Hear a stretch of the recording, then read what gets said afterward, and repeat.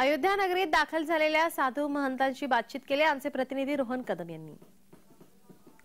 आजच्या बावीस तारखेच्या प्राणप्रतिष्ठा सोहळ्यासाठी जवळपास चार हजार साधू संत महंत जे आहेत ते अयोध्या नगरीमध्ये येत आहेत आणि त्यांच्या माध्यमातूनच हा सगळा प्राणप्रतिष्ठा सोहळा जो आहे तो होणार आहे. आपल्यासोबत साधू महंत आहेत. महंत अनेक ठिकाणाहून आलेले आहेत. महाराष्ट्रातून देखील काही जण आलेले आहेत. अ, कुठून आलेला आहात?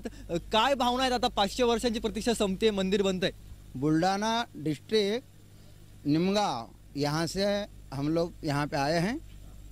स्वामी वासुदेवानंद सरस्वती। और 500 साल के अनंतर यहाँ पर प्रभु रामचंद्र विराजमान हो रहे हैं। यह हम सब भारतीयवासियों का सौभाग्य हैं। और हम तो कह रहे हैं कि आज से यहाँ पे राम राज्य की शुरुआत हुई है। और योगी साहब, मोदी साहब और विश्व हिंदू परिषद ने जो आज समस्त विश्व को एक किया है, उनको जितना धन्यवाद हम दें, उतना धन्यवाद कम है। तो ऐसा ही कार्यक्रम होता रहे हमेशा।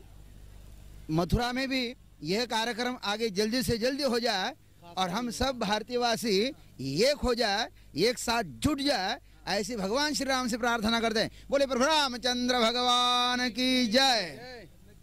हा सगळ्यांच्या चेहऱ्यावरती आनंद आहे. आता हे सगळेजण चालत जे आहेत ते राम मंदिराकडे निघालेले आहेत आणि राम मंदिरामध्ये जाऊन त्यांना हा सगळा प्राण प्रतिष्ठा सोहळा जो आहे तो याची देही याची डोळा पाहायचा आहे. रोहन कदम जय महाराष्ट्र न्यूज अयोध्या.